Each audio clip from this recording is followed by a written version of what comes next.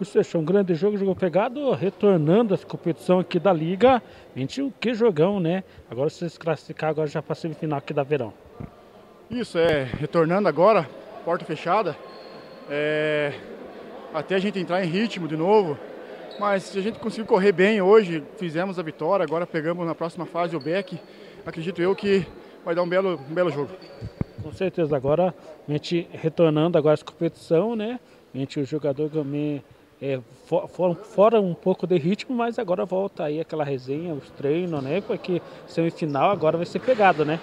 Isso, a resenha na verdade sempre, sempre, sempre teve, né? Tipo assim, nos grupos de WhatsApp e tal. Mas tipo assim, agora coletivamente, assim, voltamos agora, né? Mas, mas acredito eu que umas três, quatro partidas já começa a voltar ao normal. Marquinhos, um grande jogo retornando agora às competições da Copa Verão, mas que agora aí o Juventude já classificado para a semifinal, ganhando aí do, aí do resenha, agora se preparar porque semifinal agora com certeza vai ser pegado, né? É, com certeza, Lencar. É, tivemos um grande jogo aí. É, não foi tão bonito como, como, como todos costumam jogar, porque a gente tá, tá parado, muito tempo parado, e a gente volta meio travadão.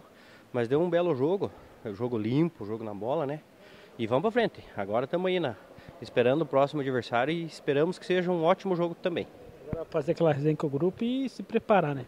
Com certeza, é isso aí, né, cara? Vamos lá agora, tomar um. Michael, retornando aqui à Copa Virando Futsal, já primeiro jogo da quarta, das quartas finais, vencendo aí a equipe do CQC e você deixando três golzinhos teu e gostaria de falar se desse jogo.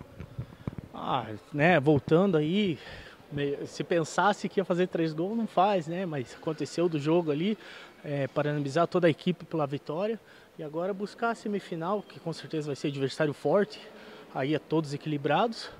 É, próximo jogo vai ter mais aí para ajudar nós, que hoje estava desfalcado.